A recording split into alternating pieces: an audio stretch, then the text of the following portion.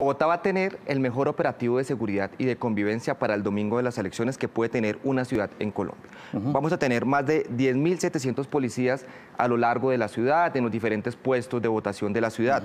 Vamos a tener acompañamiento del ejército. 2.800 soldados van a estar acompañando esta jornada electoral y se ubicarán a las entradas y salidas de la ciudad, en las principales vías de la ciudad y en algunos operativos mixtos que vamos a hacer para lograr mantener el orden y la convivencia de, la, de la ciudad. Eh, el censo electoral en Bogotá es este. Pueden votar en la ciudad 5.935.722 ciudadanos. Hay 19.432 mesas y 201 puestos de votación. ¿Cuáles son las actividades prohibidas? Tenemos tres actividades sobre todo para que todos y todas los bogotanos estén pendientes. La primera, la ley seca que ya anunció el gobierno, inicia el sábado a las 6 de la tarde y va hasta el lunes a mediodía.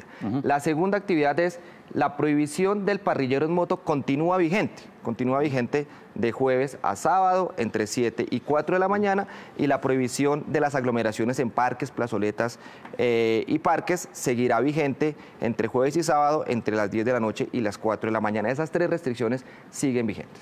Claro, también hay acompañamiento por parte de unos gestores de convivencia, también observadores internacionales. ¿Cómo va a hacer eso? Vea, Juan Diego, tenemos el mayor despliegue de gestores de diálogo y convivencia más grande en la historia para una elección en Bogotá.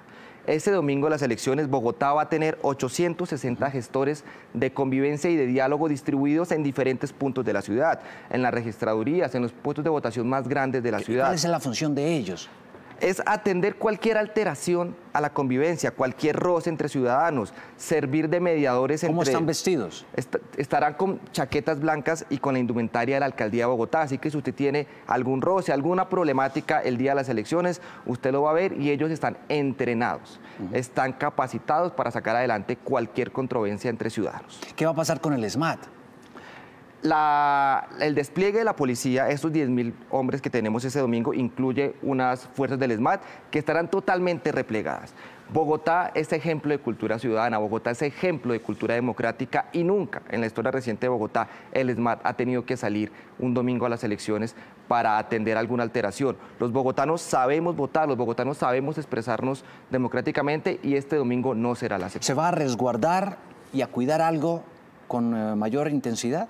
Bogotá tiene unos activos estratégicos para el domingo de las elecciones. Le pongo varios ejemplos, las registradurías auxiliares, los centros de transmisión de datos, algunos centros de votación grandes como Corferias, Unicentro, Santa Bárbara, que son centros de votación muy grandes que tendrán un fortalecimiento de seguridad grande por parte de la policía.